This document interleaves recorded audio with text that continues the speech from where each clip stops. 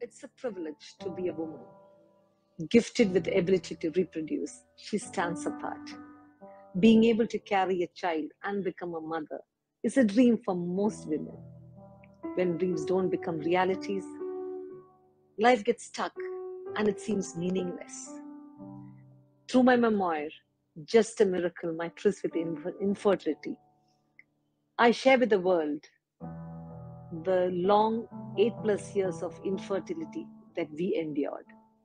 I've tried to bridge the literary gap about the associated social stigma, societal pressures, and emotional struggles of an infertile couple, especially the lady, which is hardly spoken about. And if at all it is spoken, it's all, always in hushed voices.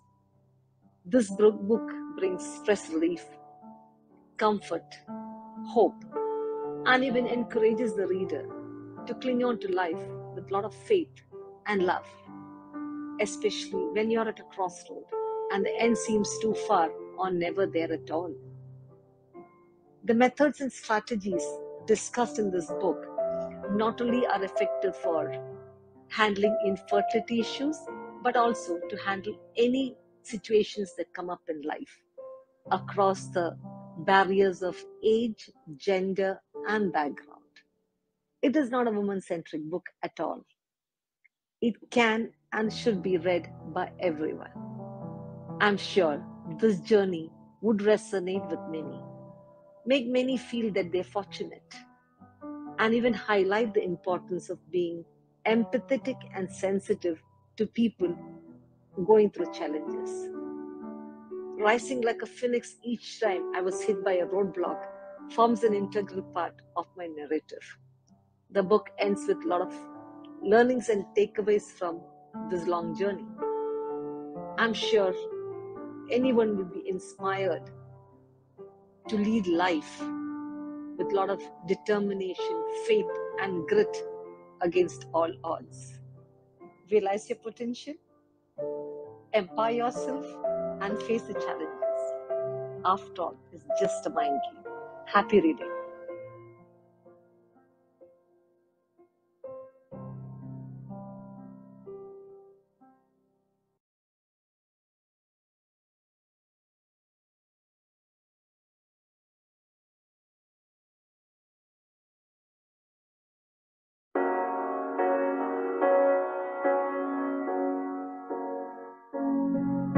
The seasons come and go like thoughts of you.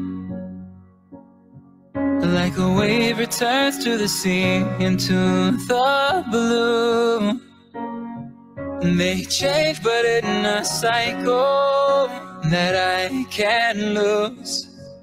Each painful but delightful to live through.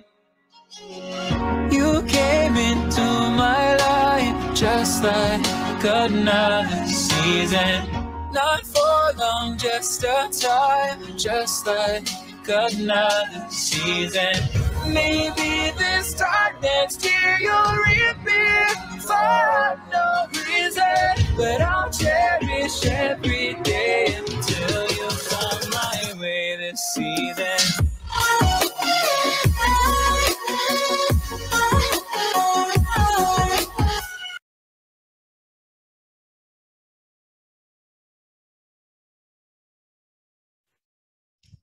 A very good evening to all the esteemed guests who have uh, joined Mrs. Neena George on the occasion of launch of her book, Just a Miracle, My Tryst with Infertility.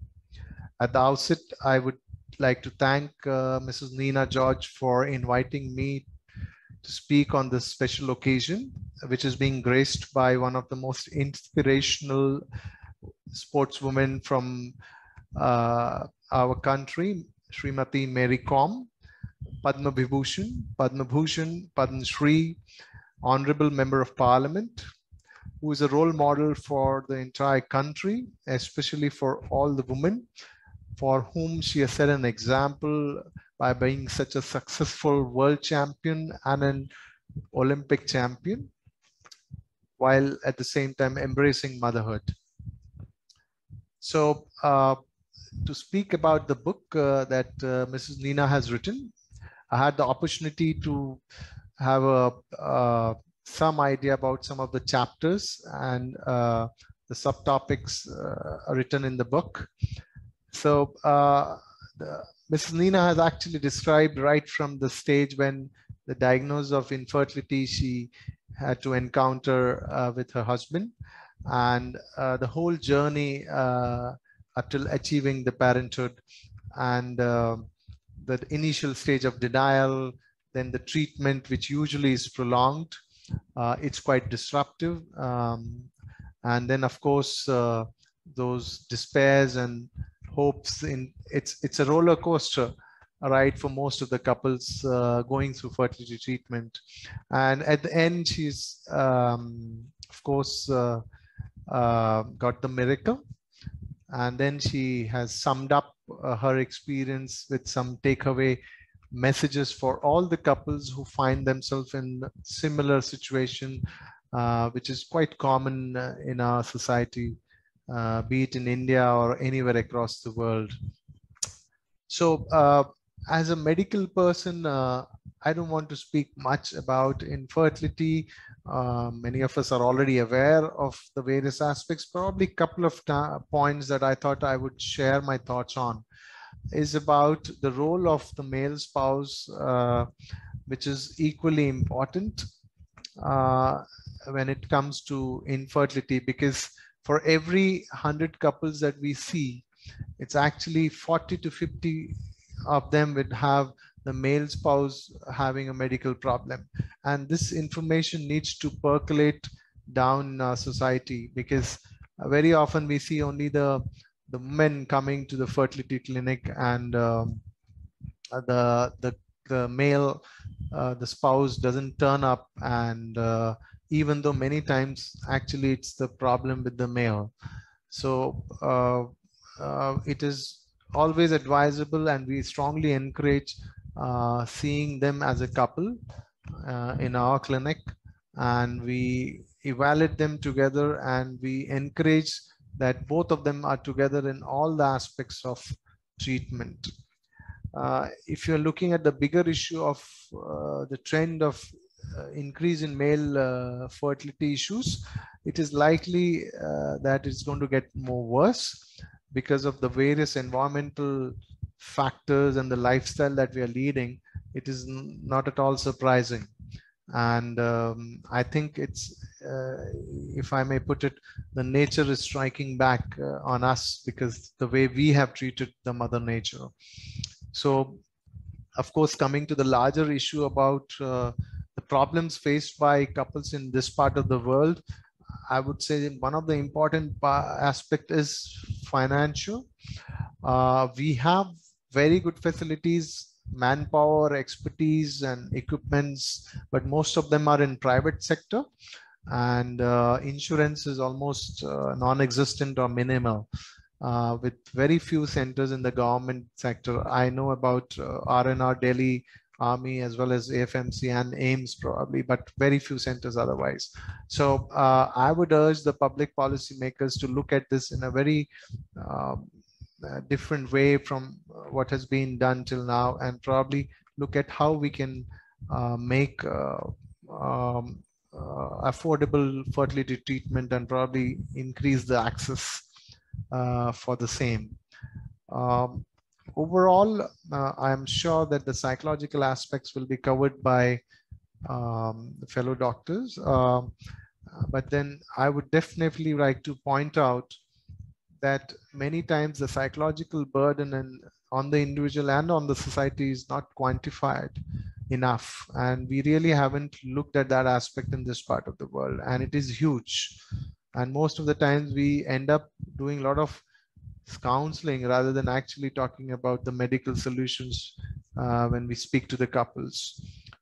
Uh, I think that's all that I can share at this point. I would again congratulate Ms. Neena on her book, which is an important step for creating awareness in our society and sensitizing our society because they play a very important role and they can definitely uh, help in um, help the couples in coping up with this issue much better.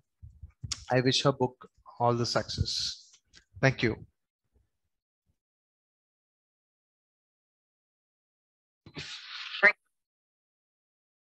Namaskar and greetings to you all. It is indeed my pleasure to be here for the launch of the book written by Mrs. Neena George, Just a Miracle My Tryst with Infertility.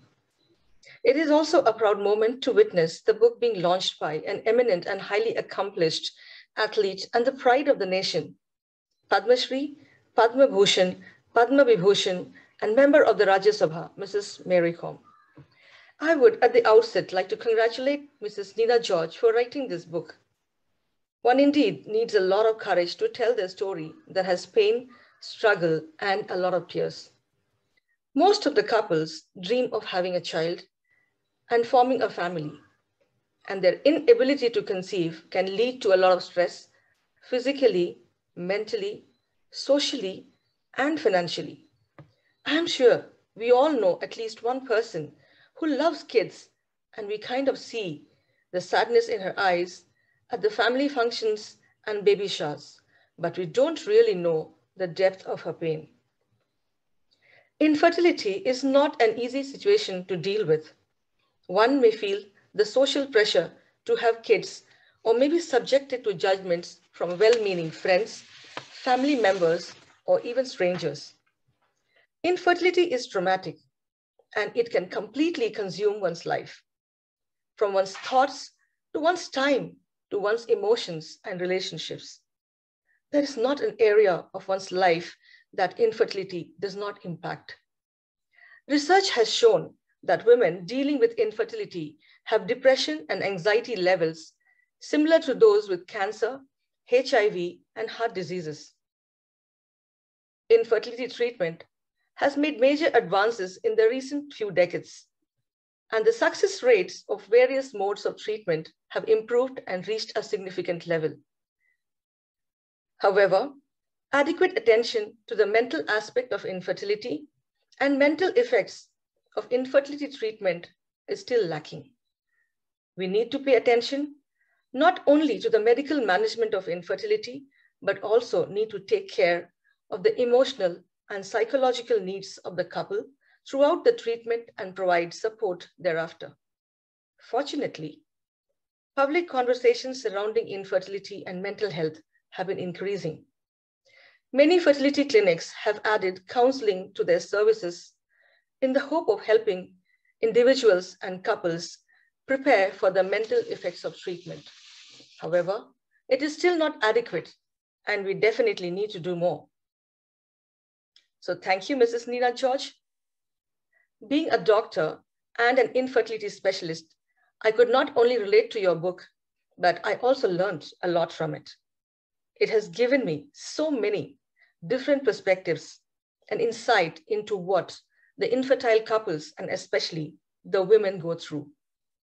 Your story will be a constant reminder to me and to all the doctors who treat infertile couples that we are every single day dealing with so many people who are carrying around a pain that is so great that they can barely contain it.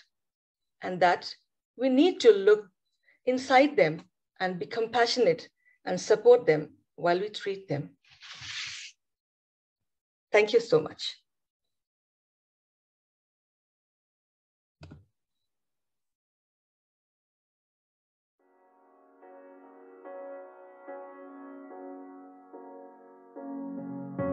The seasons come and go like thoughts of you. Like a wave returns to the sea into the blue. They change, but in a cycle that I can't lose. Each painful but delightful to live through.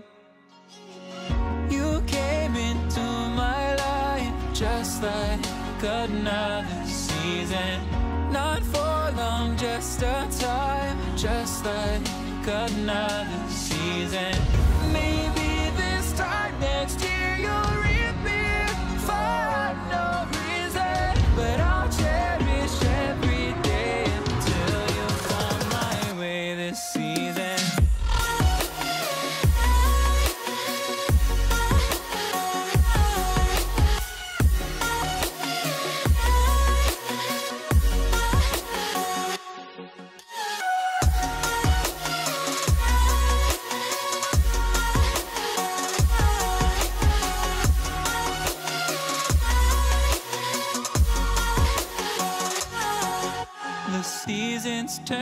change just like your mind. Like the sun gives into the moon, into the night. Time continues marching, it slowly crawls. With each new one starting, I recall. You came into my life just like another season. Not for long, just a time, just like another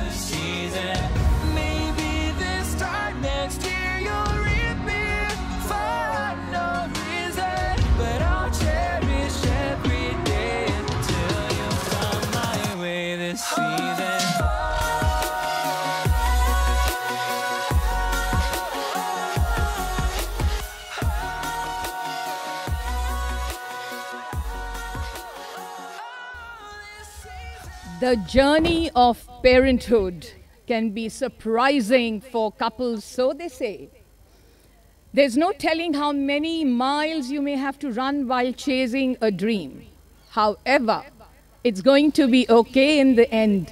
If it's not okay, it's not the end.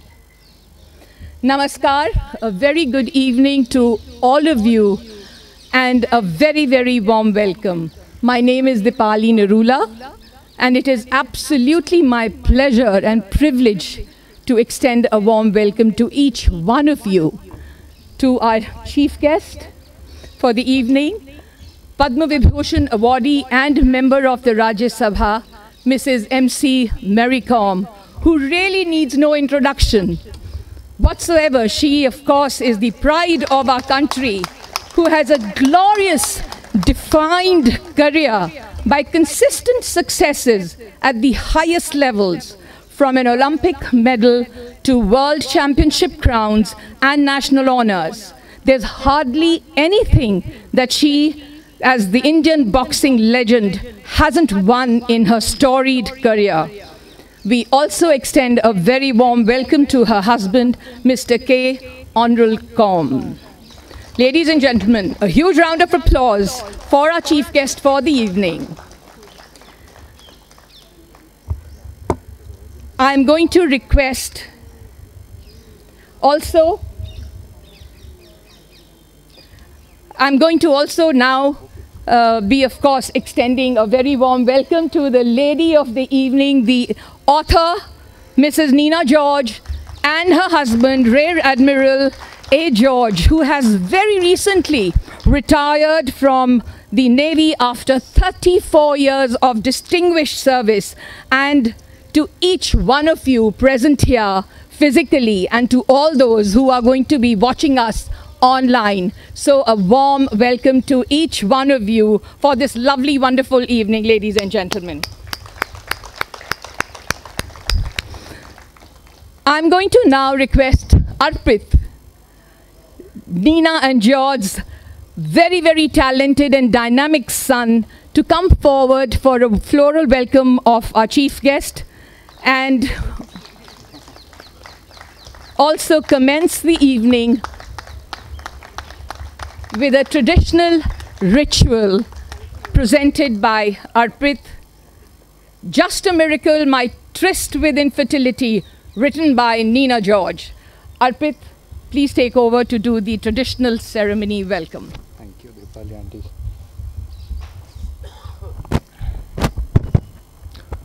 Good evening, everyone.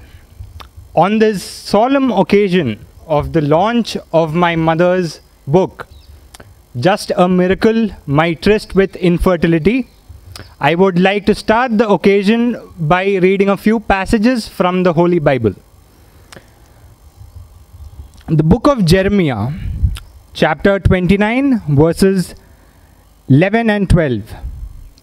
I alone know, know, know the plans I have for you plans to bring you prosperity and not disaster, plans to bring, up, bring about the future you hope for. I repeat again I alone know the plans I have for you plans to bring you prosperity and not disaster. Plans to bring about the future you hope for. Next passage is Corinth, the book of Corinth, the second book of Corinthians, the chapter 4, uh, verses 8 and 9. We are often troubled, but not crushed. Sometimes in doubt, but never in despair. There are many enemies, but we never are without a friend. And though badly hurt at times, we are never destroyed. I repeat again, we are often troubled, but not crushed. Sometimes we are in doubt, but we are never in despair. There are many enemies, but we are never without a friend. And though badly hurt at times, we are not never destroyed. May God bless this function. May the Lord Almighty bless this function.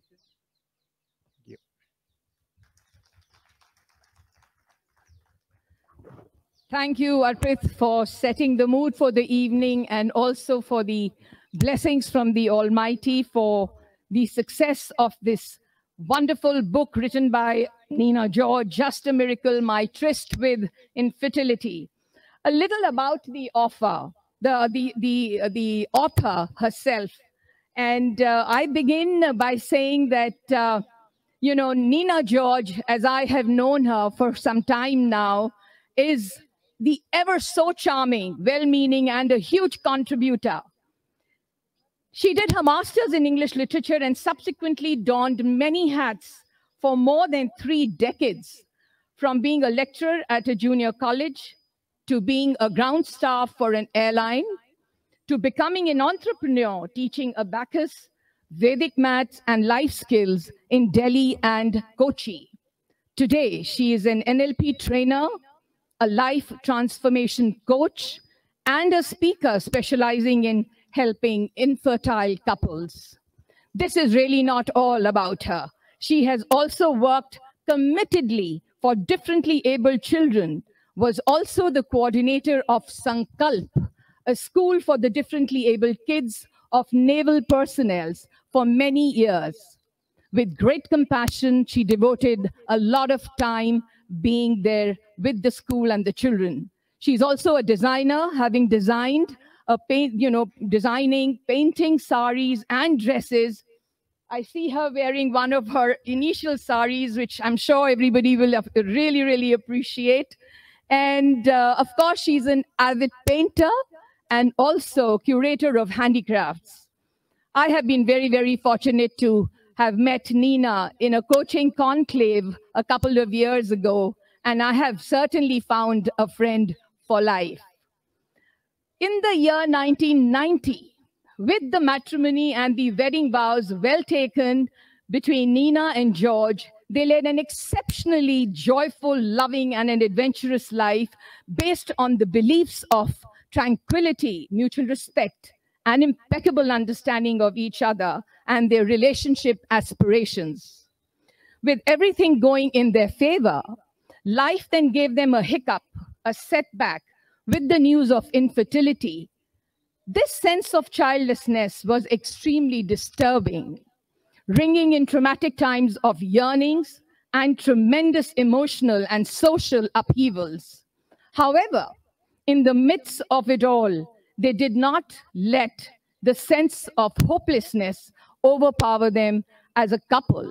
And they left no stone unturned to somehow find the silver lining to the dark cloud, which they finally did, experiencing the divine miracle by being blessed with their little bundle of joy named Arpit, whom you just heard 22 years ago.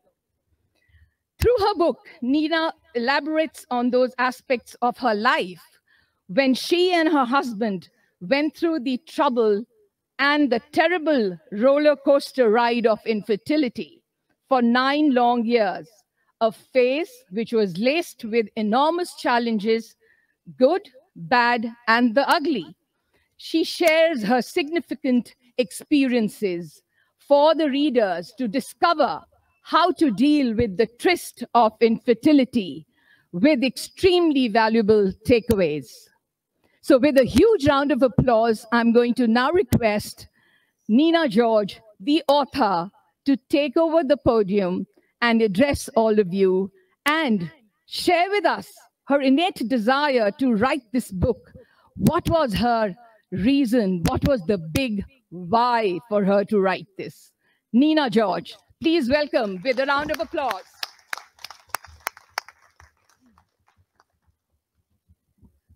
Thank you so much, Deepali. A very good evening to all of you.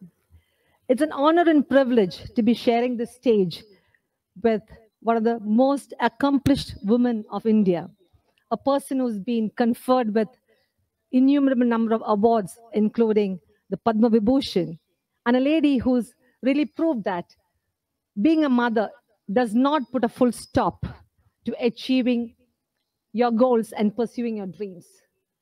The very thought of such an eminent personality, a personality of this stature, launching my book is indeed really, really overwhelming. Thank you, Mrs. Mary Kom, for having accepted our invitation and gracing this occasion. I couldn't have asked a better person for this. a very warm welcome to each and every one of you present here today in this August gathering for having taken time out to be present here in this most important day of my life, I would say. And um, there are certain people that I have to thank for making me grow from what I was to what I am today. Definitely my parents, Matthew and Rebecca, who are back in Kerala, who really taught, taught me many things, taught me that giving up is no choice in life, and who made me grow up as a person of integrity, honesty, and a never say die attitude. Probably that attitude is the one which made me tide through my difficult times. And the most important person in this journey of mine, because I didn't stay more than 22 years with my parents, but I've stayed with one person for 31 and a half years. The person who made me realize my worth, realize my potential, and the person who always made me feel that there's no one around like you. He didn't make me feel that I was very, very special. He never looked into my inabilities. He always told me only about my capabilities. He actually told me that um, I don't know how much of that was true. He told me you're very special, you're very talented, you're beautiful, you're this and that, and so many adjectives that he used for me. I think because I was young, I got carried away. And I believed it. But definitely it was for my advantage. He made me get into one beautiful bubble. And that bubble was so beautiful and cozy and comfortable for me. That is the bubble that made me travel through our difficult times. Of course, the bubble was very beautiful for people from outside. So what happens in a soap bubble, uh, soap bubble that you see from outside? Rainbow colors. For outside, it was beautiful. But definitely we knew it is very difficult to be in the soap bubble. It was very flimsy. We knew emotional struggles going through infertility for eight and a half plus years. But definitely he made me sail through that. He's never complained about any hospital visit that had to go. If you ask me, I, I remember all his, any leave that we went for on or for, that was only for hospital visits. He really made me feel that I was worth it and really worth it in all the words that he meant. Gratitude till the last breath that I take. And thanking my uh, in-laws, both my in-laws are no more. They really supported me a lot.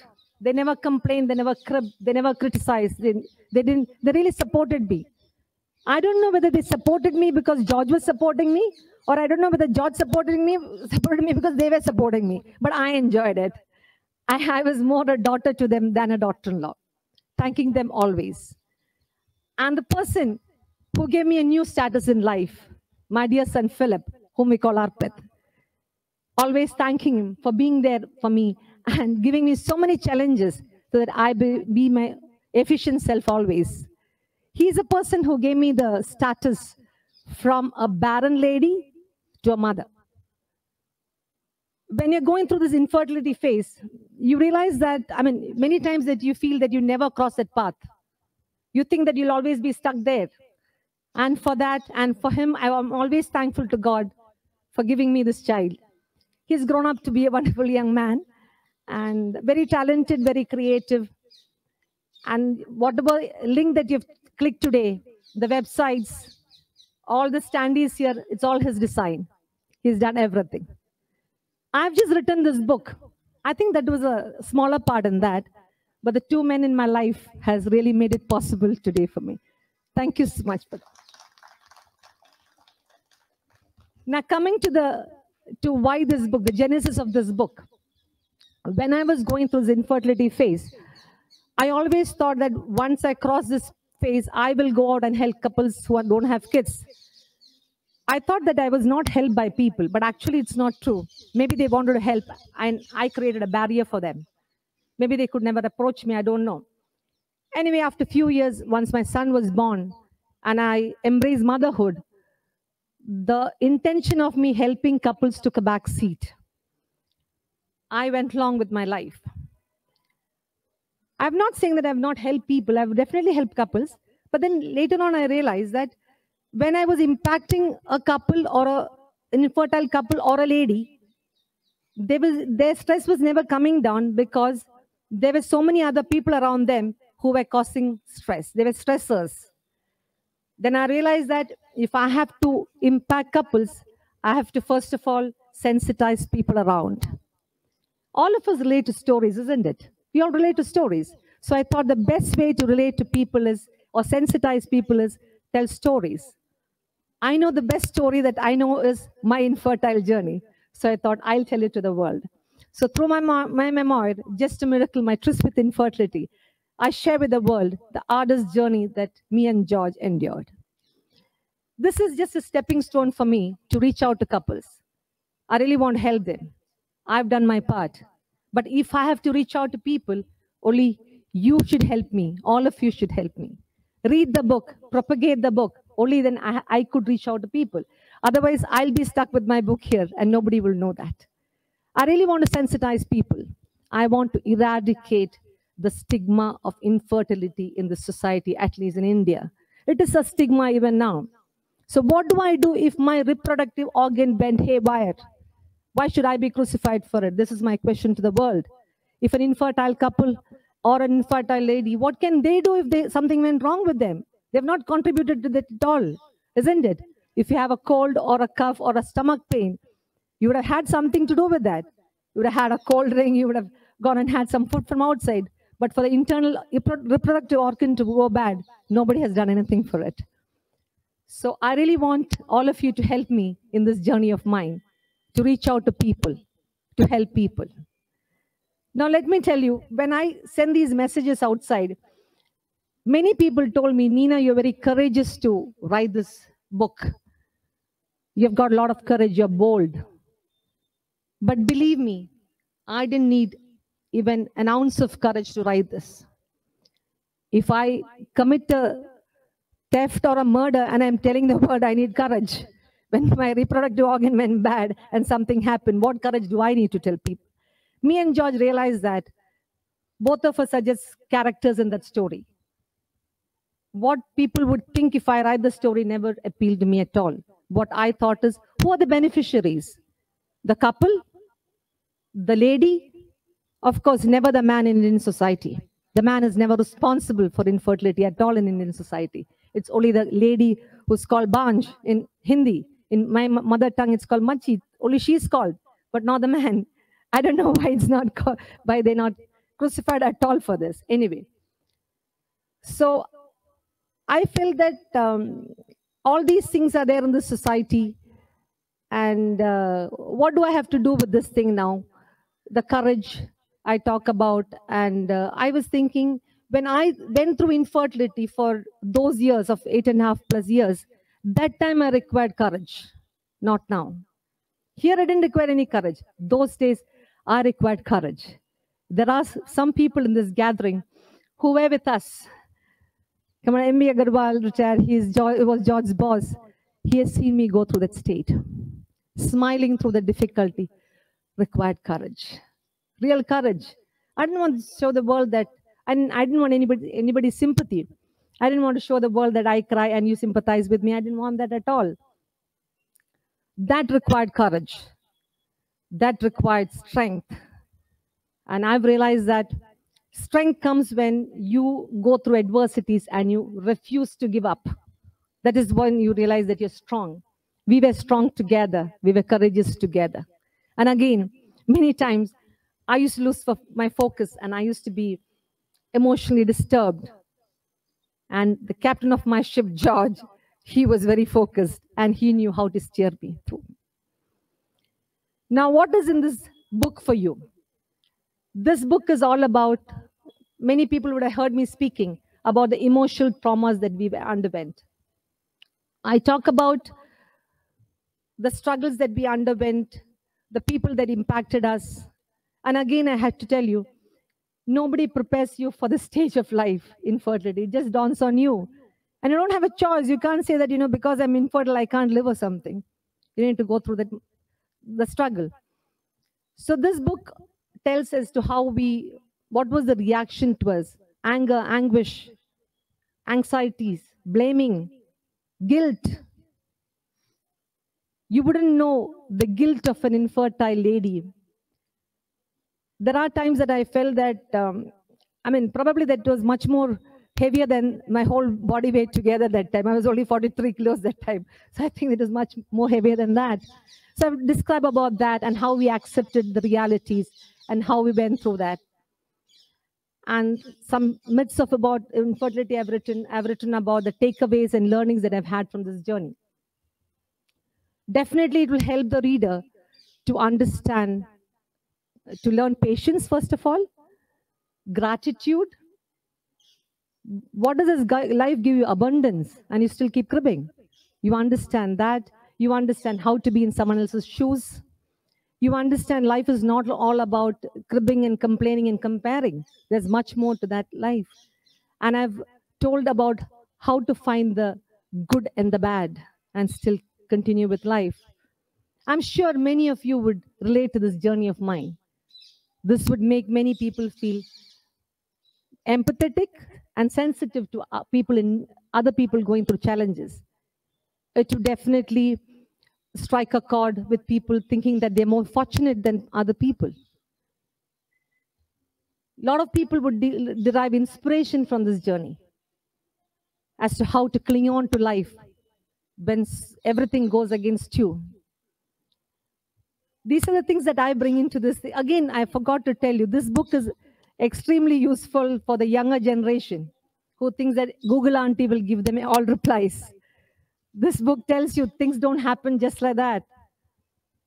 Things don't happen the way you plan for. Like when you get married, you always think that happily married and live happily ever after. There are thing, times that it doesn't happen at all. It's great for them too. And now I come to the fact that who are my readers? My readers are everybody out there is a reader for me if you have crossed the age of 16, 18, if you can understand psychology that I've written in that. But to be specific, if an infertile man or a woman is reading that book, they always feel that they're not alone in this world. There are thousands of them like this. They'll definitely get a ray of hope. They'll understand how to live with faith in God and what that can do to you. And for the spouse of the infertile man or woman, if, if he or she is reading the book, they understand how each word, look, action, even thoughts of the partner can affect, or you, your reaction can affect the partner. Recently, I'd met a guy who told me that he's married for nine years and uh, his wife is always crying. And I don't like to go home because it's a bad state at home every time. So he's asking me, ma'am, could you help me? Could you help us? I told him, you read my book. That is the medicine for you there. You'll understand why your wife cried. You understand why she was cribbing and why she never replied to many of your queries. And again, this book is for the people out there, the parents, in-laws, mother-in-law, father-in-law, siblings, Anybody out there, neighbors, friends?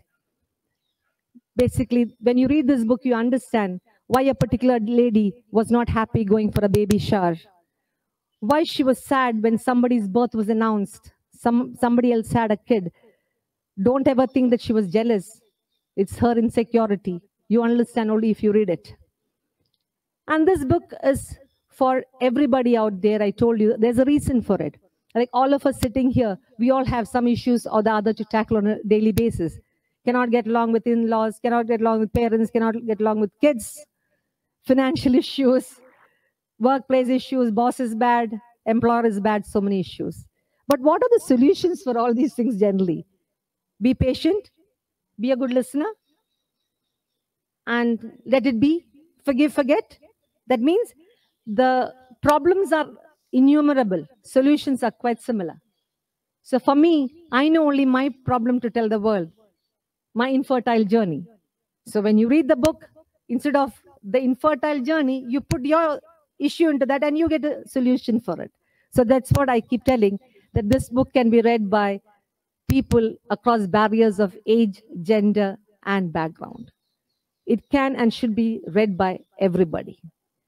Recently, somebody told me, What if, uh, when I told about this book, they said, What if I find an infertile lady or a couple and I want to give this book to them? What will they feel about it? Now, I want to tell people I have not written this book to be gifted to an infertile couple. You don't have to search an infertile couple. Okay, here, take you take this book as a gift. No. It's meant for each one of you to be sensitized. You understand their feeling. You don't have to gift it to anybody. So these are my readers. Now I would like to tell you about two words I detested when I went through infertility. Barren and fertility. Now what is barren?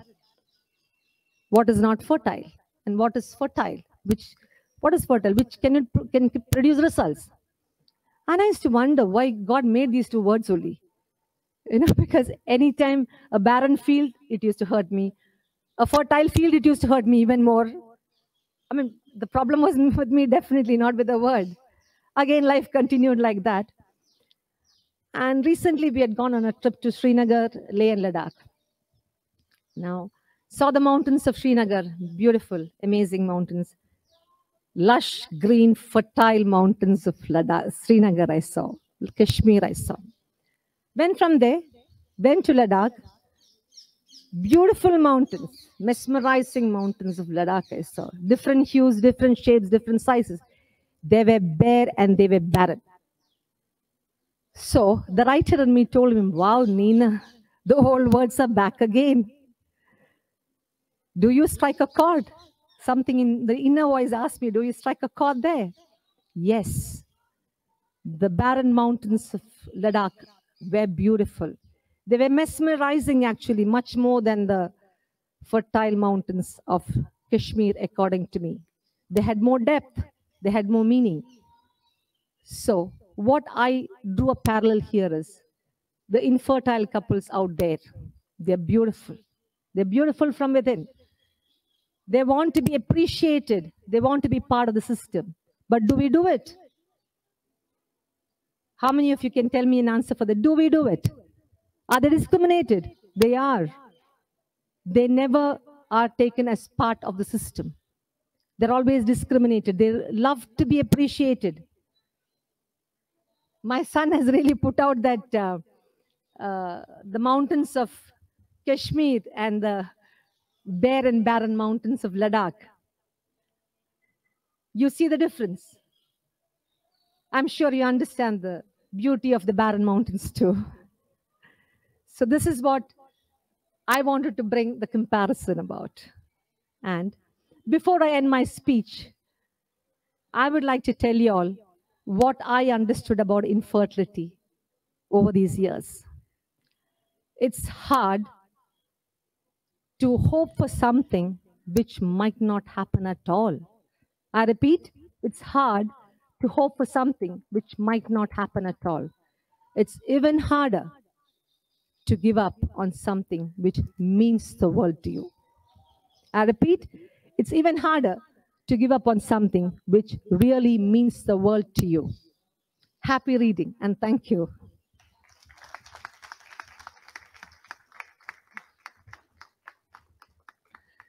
Thank you so much, Neena, for enlightening your audience so very candidly.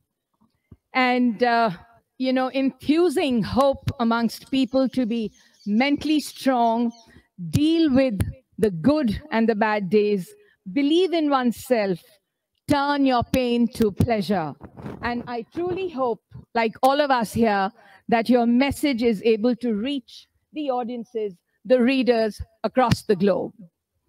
Now, for the momentous occasion, for the launch of the book, may I please request our chief guest, Mrs. Mary Kom, to launch the book along with Neena George, Mr. George, and Arpit. Arpit, may I request you to please come on the stage?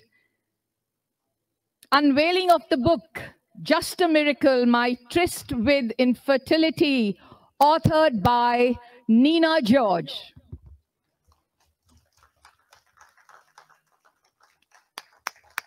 Huge round of applause, ladies and gentlemen.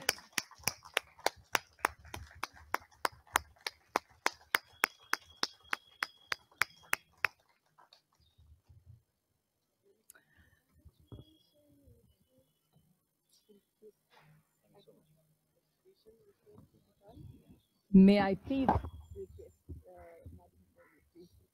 May I please request our chief guest to please address the audience. Thank you.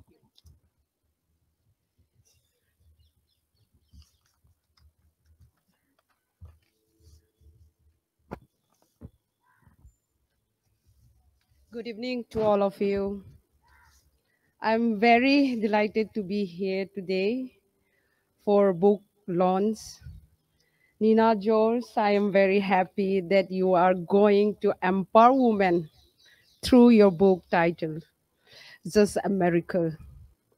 After going through your book and now listening to you, I fully understand the emotions and the pain which an infertile couple and especially the lady goes through. I appreciate your effort in reading the, writing this book, which will certainly give comfort to many couples going through this challenge and at the same time sanitize, sensitize, uh, sensi- sensitize the story as well. I wish you all the very best for your future. May God bless you. Thank you to all of you.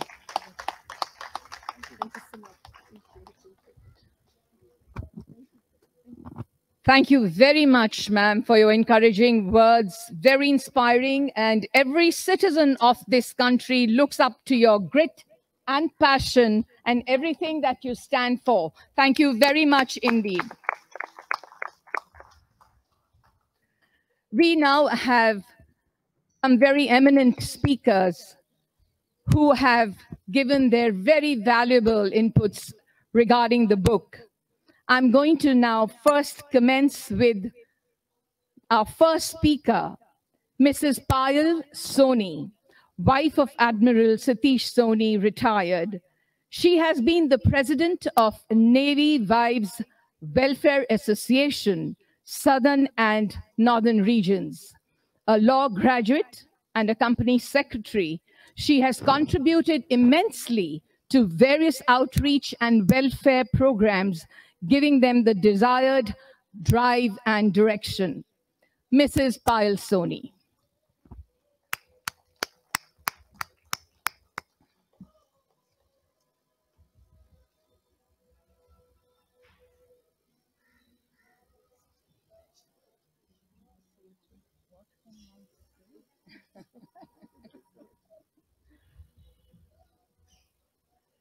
Good evening, everybody. I am delighted to be here to for the book launch of uh, Anina, Just a Miracle Tryst with Infertility. And I'm delighted to tell you about her, a little bit about her, that you all may not know and may not have seen. She wears many a hat, and I can, I mean, everybody has spoken about her accomplishments and uh, uh, her son. The miracle is there for all to see, in any case. I will speak about Neena as I knew her before she embarked on this journey of hers to fame, as she's going to become very, very famous now, I hope. Neena earned her spurs with the Navy Wives Welfare Association, which is a non-profit uh, organization nurtured by the Navy Wives for community welfare of the naval families. Its uh, uh, activities include women empowerment, then health, environment, and uh, many other outreach activities.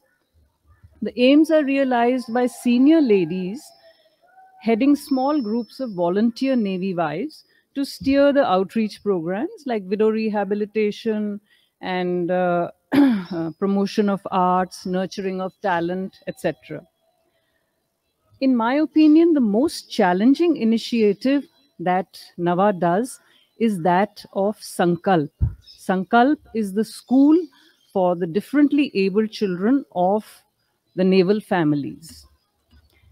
You need somebody in Sankalp who is patient, empathetic, sensitive, and yet mentally you have to be very tough and very strong to be able to be dealing with the children, to be teaching them things. You have to be very patient and very sensitive.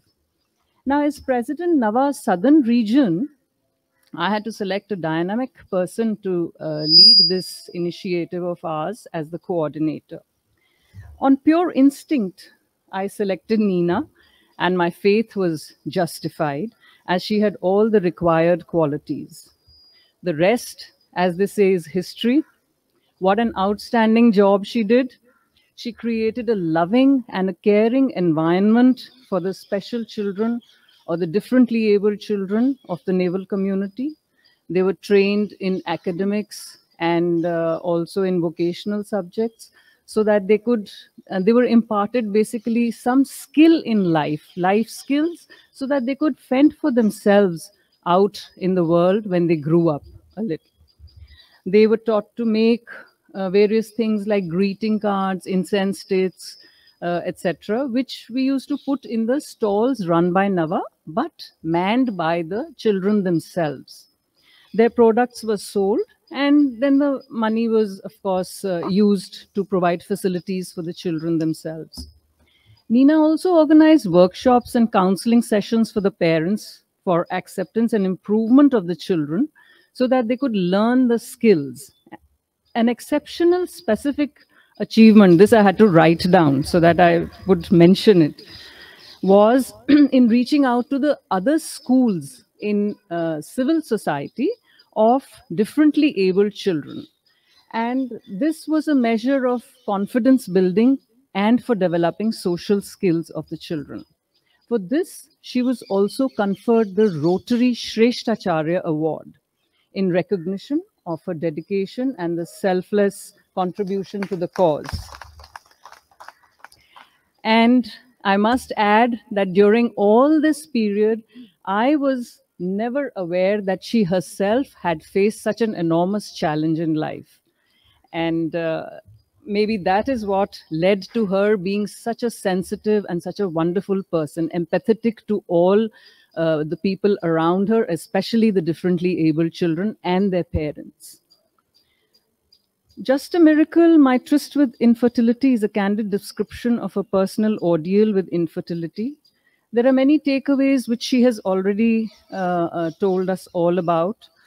Mostly, I would say the things which really strike me the most is one, the first one is for the person, the infertile man or woman or the couple to realize that they are not alone in this journey. There are others who are also undergoing the same difficulty, the same pain, and that gives some sort of hope and comfort to know that uh, other people have also traversed this path. Of course, as she said, for the spouses to understand, for the uh, the general uh, uh, people that you come in contact with, for them to be sensitized and to be sensitive, and not make any comments like the example she gave uh, about uh, somebody asking her that if we know of an infertile couple can we gift them no that's a big no no you can't do that. You i mean that is what sensitivity or sensitization is all about. You don't have to make it obvious. You just have to be talking to them or listening to them.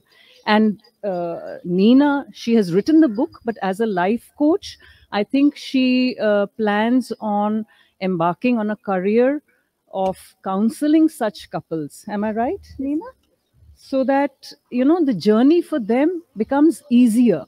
And i think that is a, a wonderful uh, uh, choice that she has made. But i would say that the bigger message of this book is for all of us to share the challenges that life throws at us squarely and to overcome them. Whatever be the results we have to face our challenges Neena embarked upon this project because she believed that her journey would not be complete if she didn't share her experiences and reach out to so many other couples. This book is the beginning of her dream to get across to all those who are in need of support. I have seen her evolve from a raw volunteer, unsure of herself. My experience with her was when she was uh, uh, at Sankalp and dealing with the children, managing them so well and so nicely. And she herself has now evolved into this, you know, such a beautiful, confident, and mature personality. I wish her the very best in her endeavors. Thank you so much. Love you, Neena. Thank you so much. Thank you so much. Really, I'm so proud. Thank you so much. Thank So you so proud. much. Thank you so much. Thank you very much, ma'am. We have known uh, Neena to be a huge contributor, somebody who does everything with a lot of compassion, and every bit that you have shared with us only reinforces that. Thank you very much. Uh, Arpit, I'm going to now request you to, uh, all our other speakers are going to be online. And uh, the next speaker is Surgeon Rear Admiral Nirmala Kanan, NMVCM retired, MD DGO, a postgraduate in obstetrics and gynecology. She is a recipient of the Nau Sena and Vishisht Seva medals. May we please have her message online. Good evening to you all. It is indeed an honor to be present at the launch of the book, Just a Miracle, My Tryst with Infertility. And I'm grateful to the author, Mrs. Neena George, for inviting me to speak a few words. But this is also a momentous occasion for me to be at a function which is being graced by one of the most admirable women in this country, Srimati Mary Kom, Padma Vibhushan, Padma Bhushan, Padma Shri, member of the Rajya Sabha, an incredible sportswoman, and an internationally famous boxer who has brought laurels to this country. And more importantly, shown us all that motherhood and an extreme sport such as boxing can go hand in hand if one puts one's heart and soul to it. Speaking of the author, Neena George has given us a first-hand experience of the trials and tribulations she went through in the eight-year-long quest for motherhood. Speaking of motherhood, I'm reminded of a quote by Osho Bhagwan Rajneesh, and I quote, The moment a child is born, the mother is also born. She never existed before. The woman existed, but the mother never. A mother is something absolutely new, unquote. The ability to conceive and have a child is a prerogative of the female species. And every married woman nurtures a dream to have a child of her own with whom she can have a lifelong bond. Of course, there are many women who choose not to have children, and this is known as voluntary childlessness. It is involuntary childlessness that is called infertility. This is a worldwide phenomenon. It is estimated that there are about 60 to 80 million infertile couples worldwide and nearly 20 million infertile couples in this country alone. Childlessness from time immemorial has always been associated or blamed as a problem with the woman. And therefore, it is the woman who has to bear all the emotional stress and the social pressures that go along with it. However, since the 1970s, vast progress has been made in this field. And I'm sure everybody knows that with the first test tube baby being born in the late 1970s, giant strides have been made in this field. And obstetricians and doctors in this country also have gained the expertise in this field and ensured that they've had good results, thereby giving a lot of hope to people or families who go through this problem. The process, no doubt, is lengthy and costly, but then people who desire children overlook all these issues. There is, however, very little known about the mental wellness of people who have to bear this pain. The problem is rarely discussed in public. It is probably discussed only at home within families and maybe some courageous people go and seek counselors or even see psychiatrists.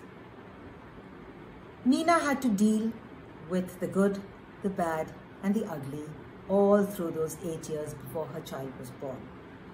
But it is her indomitable spirit and the love of her husband and the near and dear ones that helped her surmount this.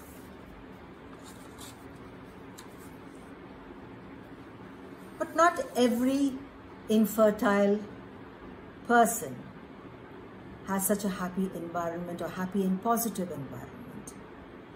And therefore, this issue needs to be looked into in detail. I am glad that a fellow doctor, in fact a psychiatrist, will also be speaking on this topic a little while later. I'm also happy that Neena's book is being translated into Hindi, which means its reach is going to be much wider. And I hope in time to come, it'll get translated into many other languages. Therefore, thereby allowing many women to read about this personal experience and gain hope from it. I wish Neena's book all the success it deserves.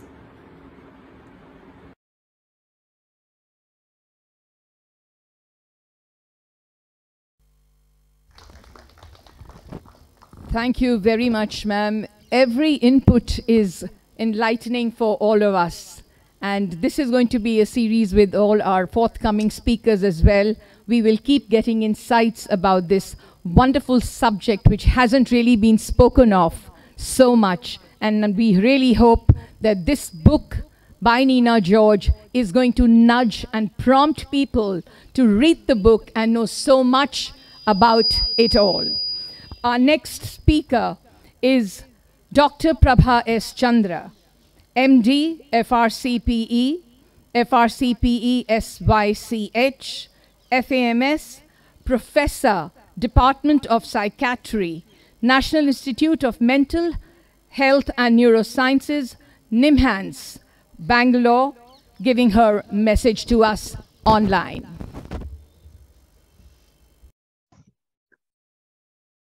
Hello, uh, my name is Dr. Prabha Chandra. I'm a psychiatrist and I work at NIMHANS. Uh, I also run the perinatal mental health services, which basically uh, helps women navigate sometimes the difficult paths that they have to face in the context of childbirth, uh, which includes infertility. Um, so I'm, I feel really privileged that uh, Neena George has asked me to write the foreword and talk about the book at the book launch. Um, to me, this book really revealed uh, so many uh, inner strengths, uh, travails, uh, difficulties, uh, and the poignancy of women who are uh, yearning for motherhood, but which is evading them. you know, when people get into marriage or have a partner, they think that they will sort of have the normal path of getting married, having a baby, maybe two babies, uh, but it's not the case for everybody. And uh, we are seeing more and more women handling uh, situations related to not being able to have a baby so easily for various reasons. Uh, nobody prepares you for this. Uh, your sisters, your friends, many of them have not gone through this. Or sometimes I feel even if you go through this and then you have a baby at the end, you somehow forget everything. And I've known people who've said, you know, we don't want to think about that part, part of our lives. So uh, in, in that context, I think neena's book is a real boon to mothers to be who are navigating this difficult journey, uh, untraversed journey. Uh, and I really uh, felt so uh, moved uh, reading the book. Every line spoke to me. And to me, what was most interesting was the inner strength um, that neena and George, uh, you know, evolved within this whole space uh, through going through all the usual phases that we do uh, when we go through a loss, and in this case, loss of something that we never had. Um, you know, anger, shock, bargaining, uh, doctor shopping, looking at any possibility that might uh, help them have a baby. And then somewhere along the way, understanding that this is a journey which requires a different approach uh, about enjoying each other's companionship, about reveling in the small things in life, uh, about being grateful for what you already have, uh, about creativity, about conversation, about commitment and I think that this book uh, will speak to many, many, many women. Uh, Neena, thank you so much for writing this book. Uh, you know, while uh, some people may say that, you know, in the end, Neena had a baby, so, uh, you know, uh, will it be relevant to other women who are going through similar issues? I think it will. I think, you know, the fact that Arpit came as a gift is indeed a miracle. But I have a feeling that even if Arpit had not come as a gift, uh, Neena and George would have found a way of creating many Arpits in the world uh, through other means, uh, through, through their creativity, uh, through their generosity to other children. Uh, and hence, I think uh, the journey of Neena and George, which has been so beautifully depicted in this group, you know, and, and the book kind of speaks to so many women who will uh, go through this uh, path. So I wish you all the success. Uh, and I wish I had been there personally. Uh, and it's really great that um, Ms. Mary Kom is uh, uh, doing the book launch. Who better could you have um, than a, a leader, a, a, most resilient woman who's navigated very difficult paths. So um, all the best for your book launch. And I hope the book receives a lot of success. Uh, and thank you once again for giving me this opportunity uh, and privilege of reviewing the book. Thank you and all the best to you, Neena, to George, and to Arpit and, and, and your whole family. Thanks a lot. Thank you very Thank much, you very Dr. Prabha Chandra, for those brilliant insights, and of course, most critically, about how to work on a human mind responsible to make our lives either happy or hellish. The choice is ours. So next speaker is Mrs. Nina Malhotra, wife of Commodore P.K. Malhotra, retired, who was Mr. George's boss for three decades. For three decades, and uh, both Nina Malhotra and Neena George shared common interests and hobbies for a very long time. And I'm sure she has some very interesting stories to share with us. Mrs. Nina Malhotra.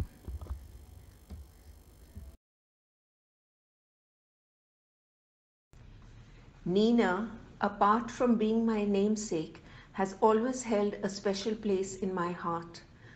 I still remember her as a young naval wife taking her first tentative steps in the naval community, and what a star she has grown to be. She has been an avid gardener and had the most exotic blooms in her garden.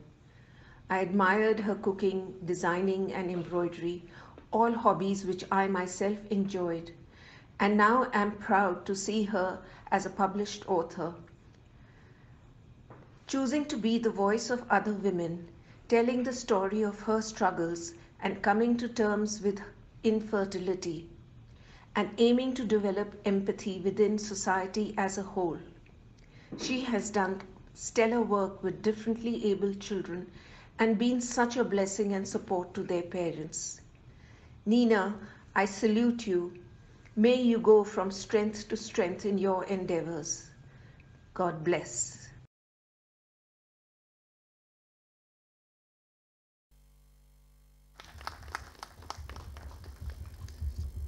Thank you, Nina Malhotra. I, I was looking forward looking to some forward more, to some more, some intimate, some intimate, some moments that both Ninas would have spent together.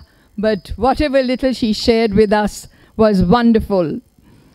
Our next speaker is Mrs. Minakshi Sharma, a writer, a journalist, a management educator, and a book lover who enjoys building communities through her book clubs and author interaction platforms.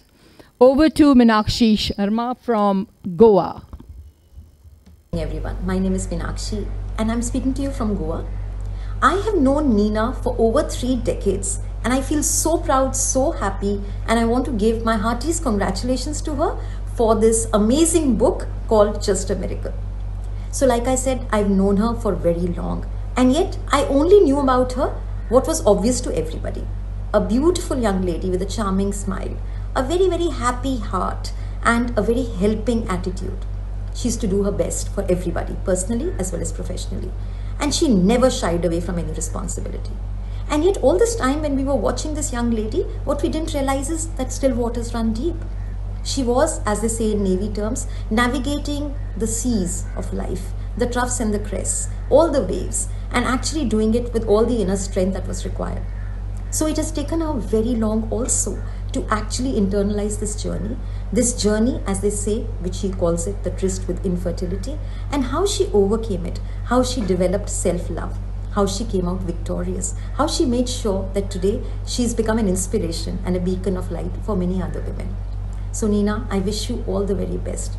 I know that what you have done is nothing short of amazing, not only in the journey that you have undertaken, but in the truthfulness and the frank attitude with which you have written this book. As a lover of books and as somebody who understands how hard it is to actually take your emotion and then put it out there for others. I think not only have you done an amazing job, but you've also inspired each one of us. I wish you all the very best.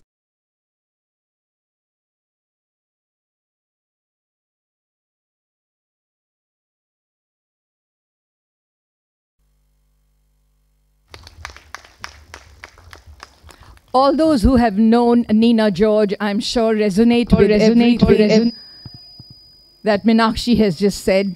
I certainly do, and second everything that Minakshi has said about Neena. Coming almost towards the end of the program, I am now going to invite the most important gentleman, Rear Admiral A. George, retired, the gentleman who stood with his wife Neena as the rock of Gibraltar, holding her hand throughout her artist journey. I'm sure his perspective will be inspiring to many out there. Over to you, Mr. George, for your address and vote for thanks.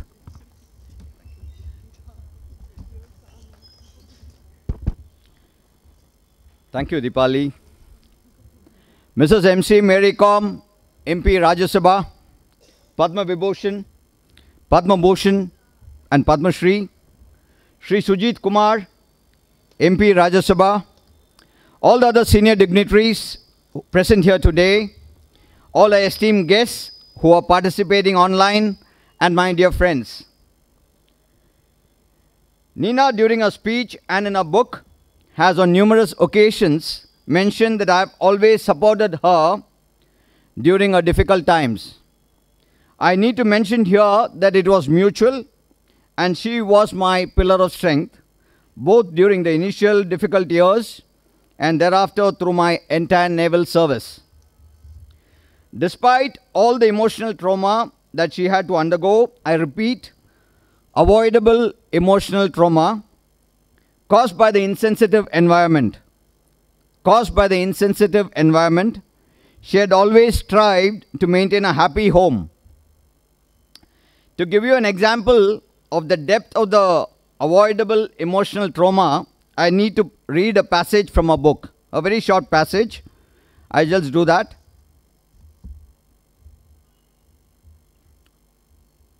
Once we had gone for a vacation to Kerala. One elderly lady staying close to my husband's house had come to visit my mother in law. Amma was not at home. The old lady was visibly happy. She had me all to herself. I had seen her a few times earlier, and the only communication between us was a smile. When she first asked me about kids, her tone was of concern. Then she went on to suggest some doctors. By now, her tone was of authority. Later on, she went on to tell me that many good proposals had come for my husband, but due, due to his bad luck, he had to settle for me. By then, her tone had become sarcastic. I felt so miserable, didn't even know whether to react or respond. She went on to say that I should count myself lucky that he didn't seek a divorce from me. How audacious. Now she was in full flow and went on to tell stories of guys who had divorced their wives because they couldn't bear kids. It was getting a little too much for me, so I told her that educated people won't do such stupid things. Didn't know why I had to get into such futile conversation. She gave me a good lecture on that too. I was completely shaken. I still was very sure that it was that lady's opinion and not from my in laws. But later on, I started viewing every word my in laws or anyone from my husband's side spoke with a critical eye. How strange is the working of the human mind. Despite such incidents happening very often, I had just now mentioned that Neena did her best at all times to maintain a warm and happy home in its true sense. She was full of energy, ever smiling and always raring to go. While there were occasional dull moments, she would never let that spoil the happy atmosphere at home. She would cook and bake the most delicious and sumptuous, sumptuous uh, meals for me and our social circle of friends always maintained the best of the gardens with her green fingers, and also ensured that the house was aesthetically decorated with her own artistic talents, which God had abundantly showered on her. She, she, she was always calm, composed, contented, without any complaints and comparison. All this ensured a very positive atmosphere at home, and I could give my 100% to naval aviation, of which I was part of. There were days when I would leave home very early in the morning, stay back through the day at work, skipping lunch on many occasions, and get back late at night due to some unforeseen operational defects on the aircraft. All that I had to do was to pick up an ice cream from the Naval Club and give it to her as she opened the door. She was least demanding. I need to mention here that Neena was extremely courageous. By this, I'm not trying to tell that she never broke down, but she would cry her heart out and would recoup quickly. All that I had to do was to take her out for a stroll on the lovely Goan beaches because she loved watching the waves. Every time they fell, they rose again just like her.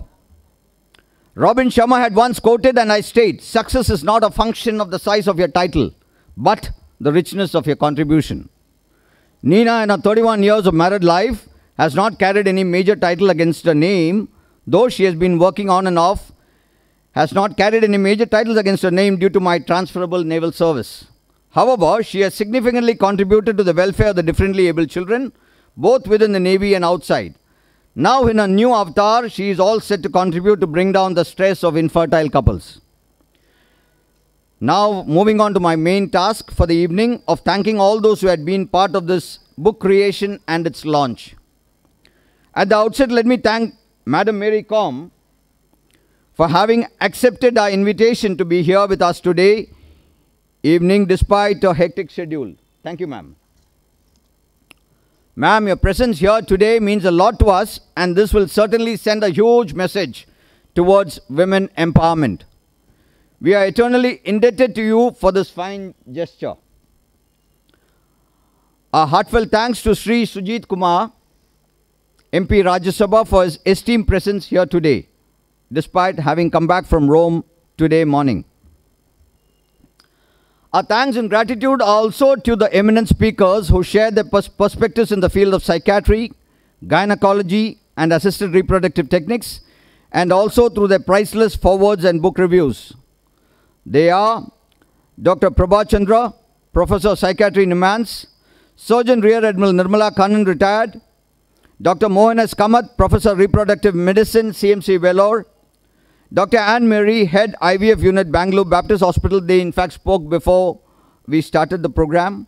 Dr. John P. John, Professor Psychiatry NIMHANS, Mrs. Reena Lamba, former President Naval Wives Welfare Association, Dr. Diane Wardle, Professor of Nursing, Houston, Texas, and Dr. Roshni John, Consultant Obstetrician and Gynecologist of the KG Medical Center, New South Wales, Australia for all the reviews.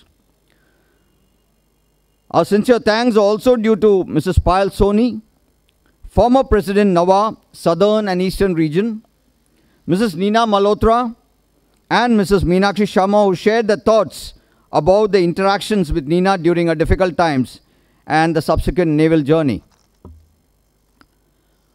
I also need to sincerely thank Mrs. Deepali Narula for stitching up a grand book launch event. A professional of marketing events, and hospitality for more than two and a half decades, having worked with international brands like Western Union, EXL, and Fashion TV. Today, she is also a life transformation coach and a cultural impresario. Last but not the least, our sincere thanks to all the senior dignitaries, which include Mr. Subramaniam, Secretary uh, Social Justice, Mrs. Pushpa Subramaniam, Secretary Food Processing, the Vice Chief of the Naval Staff, Admiral and Mrs. Ghormade, and Vice Admiral and Mrs. Srinivasan. Thank you so much. Thank you, Admiral Soni, sir, for having uh, accepted the invite. Thank you, sir.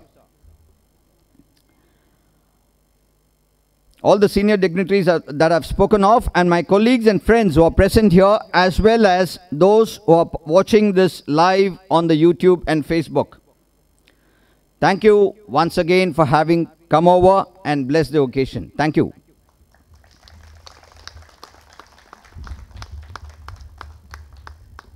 Thank you very much, uh, Mr. George. That was absolutely brilliant, and thank you very much for your vote of thanks for each and every one that you have mentioned.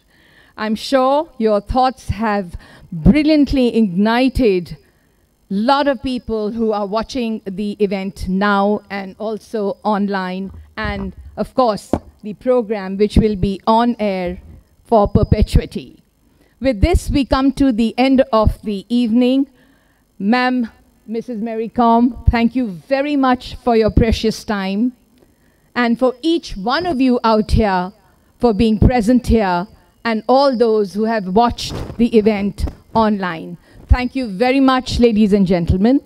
Uh, there is an arrangement for refreshments. Please do proceed and have a good evening ahead. Thank you very much once again, and thank you, Neena George, with all the very best for the success of your book. Thank you, ma'am. Thank you, George. A big round of applause, ladies and gentlemen. Thank you, and bye bye. Good night. The seasons come and go like thoughts of you. Like a wave returns to the sea into the blue. They change, but in a cycle that I can't lose. Each painful but delightful to live through. You came into my life just like another season. Not for long, just a time, just like another season.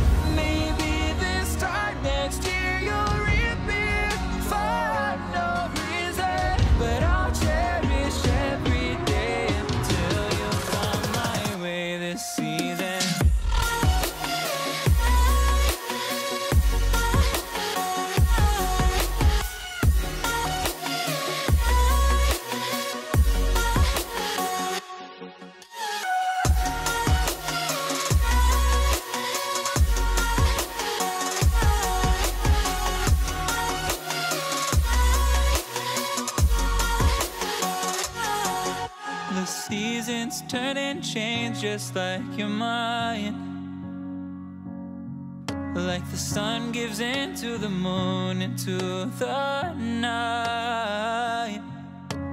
Time continues marching, it slowly crawls. With each new one starting, I recall. You came into my life just like another season. Not for long, just a time, just like another.